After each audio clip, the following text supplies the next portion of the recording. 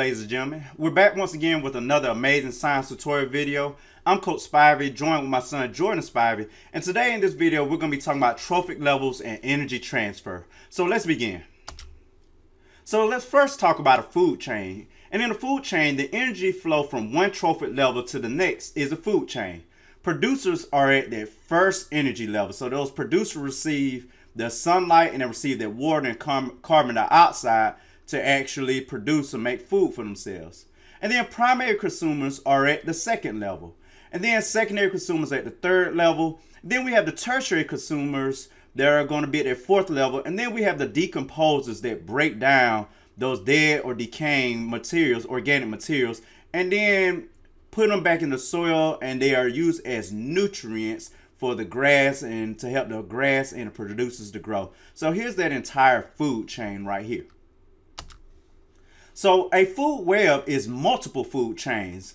So if you look, you have multiple food chains going going in this picture right here, and you show and you see multiple ways where one organism is eating another organism, and then that organism gets eaten by another organism. Notice that the organism at the very top, which is the eagle, no other organism feeds on the eagle because it's a tertiary consumer.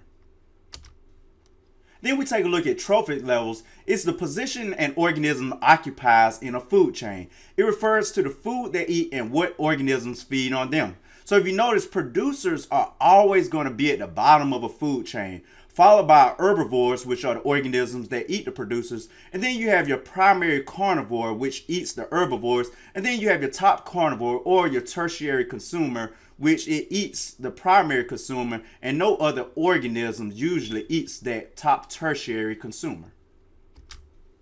So let's take a look at this chart and you're going to fill in the following trophic level using your knowledge of feeding relationships. So for example, if you look at the grass, you're going to look at the energy level that the grass occupies and is it going to be that first, second, third, or fourth energy level? So we know the grass occupies that first, energy level, and then what type of relationship is it? What type of organism it is? It is a producer in the trophic levels. So go ahead and take about a minute to fill out the information for the owl, mouse, and the grasshopper. And I'll come around to you there to check and make sure that you're understanding the learning.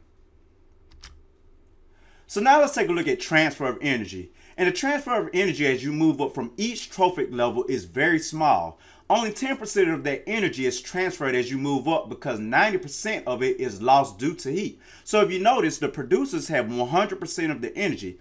This grasshopper, when it eats the producers or eats that grass, only receives 10% of that energy, and 90% of its energy is lost due to heat because it's moving around.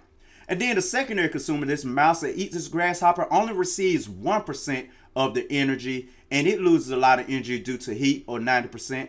And then this owl or this tertiary consumer only gets 0.1% of the energy after it eats this mouse. So as we go up our trophic levels, the amount of energy that's received by the organism above is decreased by 90% and it only receives about 10% of that energy. That's why we have 100, 10%, 1%, 0.1%.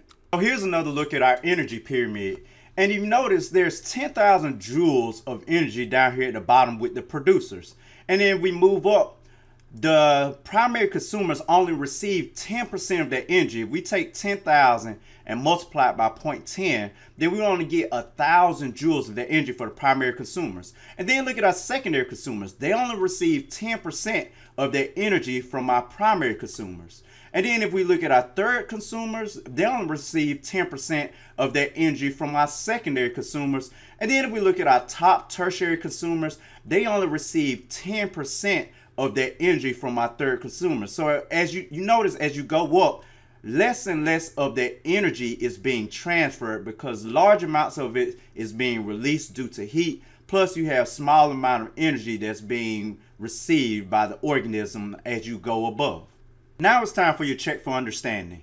And you're going to answer the following questions by analyzing the energy pyramid and using your knowledge of energy transfer.